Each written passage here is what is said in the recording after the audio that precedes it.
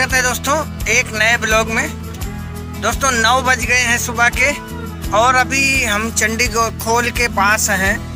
चंडी खोल उड़ीसा में है।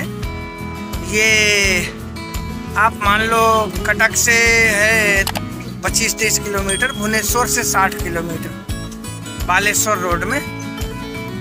और इधर ही पास में पारादीप है। आप लोगों ने नाम तो सुना होगा, पारादीप का। क्योंकि पारादीप बहुत बड़ा बंदरगाह है और कई सारी मिसाइलों का परीक्षण भी इधर ही हुआ है पारादीप में। ठीक है ना दोस्तों? तो पहुँच गए हैं, इधर ही एक कांटा है शांति लता कांटा। शांति लता ट्रांसपोर्ट भी है, बसें भी चलती हैं बहुत सारी। इधर ये दोस्तों, फिरोजाबाद का माल भरेगा, वो भी कांच, चूड़ी वाला कांच। कांच तो सभी एक ही बराबर होता है यार। होगा ये शराब वगैरह बियर वगैरह का बॉटल वहाँ जाके फिर से वो उसको गला के, करके अपने हिसाब से फिर वही चूड़ी वगैरह बनाएँगे और क्या। ठीक है ना दोस्तों? चलते हैं यार। ब्रश मंजन तो कर लिया, चलते हैं यार। कुछ चाय पानी कर लेते हैं, नाश्ता पानी। वैसे कुछ खास तो दिख नहीं रहा यहाँ खाने पीने का। चाय दिख रहा, हो सकता बिस्किट भी मिले। ठीक है ना? तो बने रहिए कंटिन्यू अगर नए हो तो प्लीज़ चैनल सब्सक्राइब ज़रूर कर ठीक है ना? दो किलोमीटर पैदल चल के आया हूँ खाने के लिए। वहाँ था ही नहीं यार, जहाँ गाड़ी खड़ा करवा रखा साढ़े बारह बज गए अभी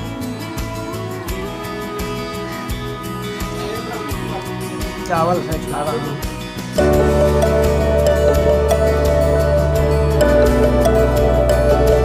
भैया, उस कांटे से मैं आ गया आगे थोड़ा, तीन किलोमीटर आगे। क्योंकि यहाँ पेट्रोल पंप है और राजस्थान ढाबा है, पेट्रोल पंप में ही। यार, दिमाग खराब है, दो दिन नहाए हो गया। मुझे तो देखो, कुछ कंफर्म था कि आज लोड नहीं होगा। ठीक है ना? वो बोल रहा था लेबर लेके आ रहा हूँ लेबर लेके आ रहा हूँ। तीन बार फ़ोन किया, बोलता, अभी लेबर मिला नहीं लेबर लेके। मेरा दिमाग ख़राब हो गया। अब देखो, मुझे संकेत मिलता है आदमी के बातों से, क्या होने वाला है है कि नहीं? फिर मैं फ़ोन किया, मैं बोला, भैया, लेबर कहाँ से ला रहे हो? पाकिस्तान गए हो ढूँढने? मैं बोला, देखो भैया, चूतिया मैं हूँ कि तुम हो? वो चौंक गया।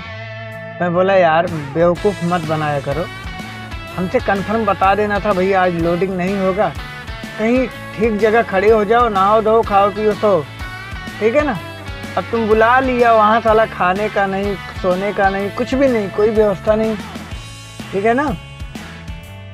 फिर उसके बाद लास्ट में तब उसने बताया। मैं बोला, भैया देखो, मैं कभी कभी बोलता हूँ, क्या बोलता हूँ, मेरे समझ में नहीं आता। ठीक है ना? सच में यार, गुस्सा जब लगता है ना तो समझ में नहीं आता क्या बोल रहा हूँ। बड़ी ज़ोर का गुस्सा लगा था। तो साढ़े तीन का टाइम हो गया, आया हूँ, चल रहा हूँ, नहाऊँगा, धोऊँगा इधर ही, और सुबह फिर जाऊँगा। ठीक है ना? ये जगह बहुत अच्छा है। मैं देखा व्यवस्था भी अच्छा है नहाने धोने का, पानी का। चलता हूँ नहाता धोता हूँ इधर, ठीक है?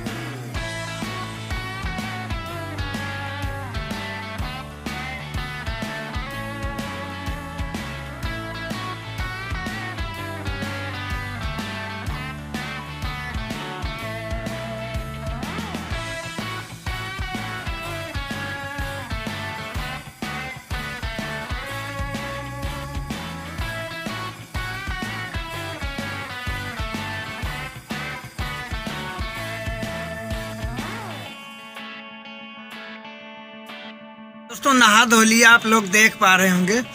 बहुत आराम मिला नहाने के बाद, आप ये समझ लो। तीन दिन हो गया था यार, हालत थी खराब। गर्मी भी बहुत लग... अगर नहाओ ना तो गर्मी भी ज़्यादा लगता, ठंड भी ज़्यादा लगता, मौसम के हिसाब से। नमस्कार। दोस्तों, सुबह हो गई है, और उस पेट्रोल पंप से आ गया हूँ, जहाँ लोडिंग होना है। और इधर ही गली में गाड़ी है, लोडिंग पॉइंट हमारा, कबाड़ी का दुकान। और ये पास में मंदिर भी है एक। सामने हाईवे रोड है। उधर फ्लाईओवर एक दिख रहा। सर्विस रोड है ये। पतली गली में आया हूँ, दिक्कत होता है यहाँ आने जाने में गाड़ी लेके। ऐसी जगह एक कबाड़ी बैठा ही है। इधर ये मार्केट लगा हुआ है। पर यार बदबू यहाँ बहुत आती है, क्योंकि मछली वगैरह ज़्यादा बिकता है ना, मछली वैसे भी बास मारती है दूर तक। तो मैं सोचा बाज़ार चल के घूम आऊँ। एक बार ये पान की दुकान है। है ऐसे बहुत कुछ है यहाँ, देखने लायक। देखने में अच्छा लग रहा, पर वही बदबू बहुत आ रही है यहाँ पे। तो दोस्तों, देख पा रहे होंगे लोडिंग हो रही है। कांच ही कांच दिख रहा पूरा।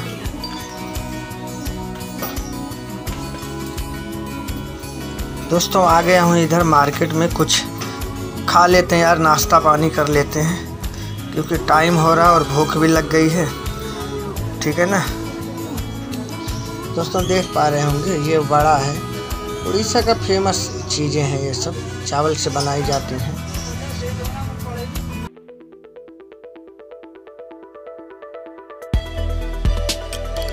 दोस्तों, आप लोग देख पा रहे होंगे देखकर अंदाज़ा लगा ले होंगे क्या है ये।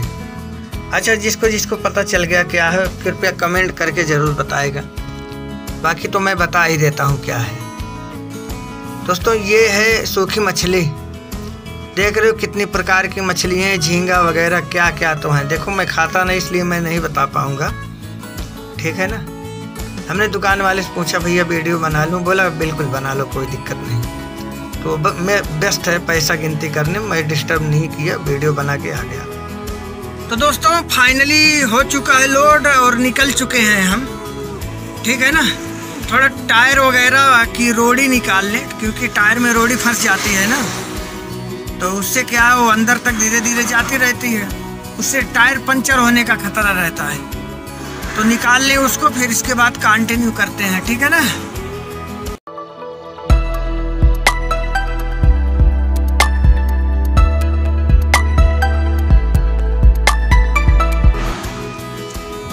तो दोस्तों यही सब रोड़ी है जो कि पंचर होने का खतरा रहता है जिससे देखो टायर में धीरे धीरे घुसता रहता है ये। देख रहे हो नारियल नारियल पानी। ये भाई साहब बेचने आए हैं। और मैं पी रहा हूँ लेकर घर भी जाऊँगा। ठीक है ना? आपको दिखा दूँ। ये देखो बाइक पर रखे हैं। ये खत्म हो रहा है खाली थोड़ा अल्फ़ा है। चलो ठीक है अच्छी बात है बेच के ख़त्म तो कर दिए क्यों? होना चाहिए यार। मेहनत करने वालों को मिलना चाहिए पैसा ना। भगवान तुम्हें अच्छा रखेगा सही भला रखेगा करोड़पति हो जाएगा। तो पी लेते हैं यार। तुम पिएगा वो पानी वाला। ये घर का लेने तुम लोग के घर के लिए। आज उठो दे दे नहीं यार पैसा भी देखना तो ऐसे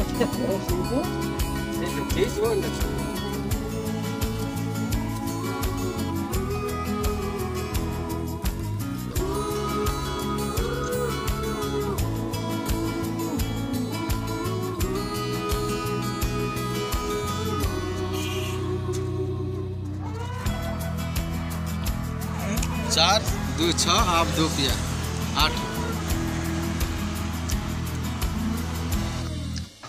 तो दोस्तों, निकल चुके हैं अब देख पा रहे होंगे। और अभी पूरी सड़क सुनसान दिख रही है। क्योंकि दोपहर के टाइम में इधर का नियम है, लोग खाना पीना खा के सोते हैं। इधर पूरा बंगाल हो गया, उड़ीसा हो गया, आसाम हो गया। इस साइड दोपहर के टाइम आदमी काम नहीं करता, अपने घर में सो जाता है। इसलिए अभी शाम के टाइम देखना। इधर मार्केट सुबह शाम ही होता है। पूरा भीड़ भाड़ हो जाएगा चारों तरफ़। सुबह और शाम को ही होता है। अभी इसलिए पूरा सोना सोना दिख रहा है। और दोस्तों, शाम को साढ़े चार बज चुके हैं। और मैं रुका था थोड़ा चाय वाय पीने के लिए यार। पालासुर के पहले हूँ। तो देख पा रहे हैं दोस्तों, मैं हाईवे पर हूँ। इधर ही मैं रुका था चाय पीने के लिए। ठीक है ना? तो ये है एक चाय की दुकान जो है। तो इधर ही मैं रुक गया था। ठीक है ना? तो चलिए अब चलते हैं आगे। तो दोस्तों, शाम हो चुका है और इस वीडियो को यहीं समाप्त करते हैं। वीडियो कैसी लगी कमेंट करके ज़रूर बताना। जय हिंद, वंदे मातरम।